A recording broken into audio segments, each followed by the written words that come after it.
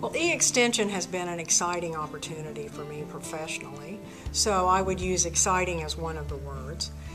I hear people talk about anytime, anywhere learning, and I realize that's three words, but I see that as a major piece of extension, um, a way to really reach new audiences at their time, uh, at, in their location.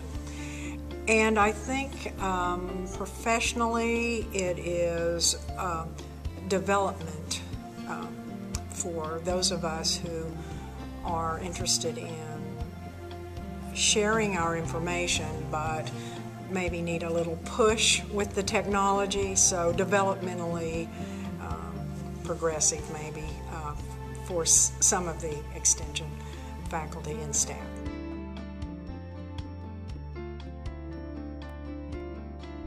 eXtension has been um, a new community for me and it has helped me engage in thinking about ways to share information in new ways and it has really pushed me into learning some new technology, some new terminology and um, has really, I think, brought a little bit of excitement back to my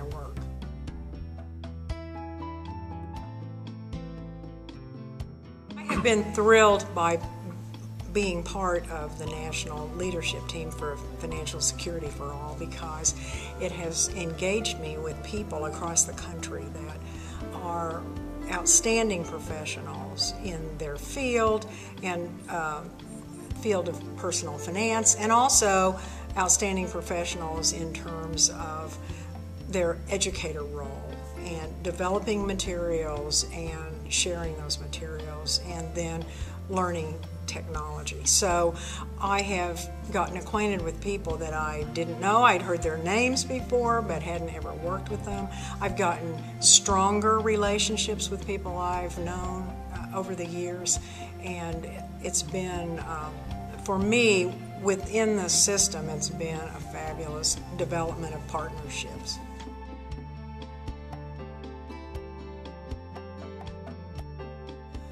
I think eXtension has an exciting future. I think that the public, the people that we want to serve are busier and busier and have more and more commitments. They are more and more sophisticated in terms of their information search.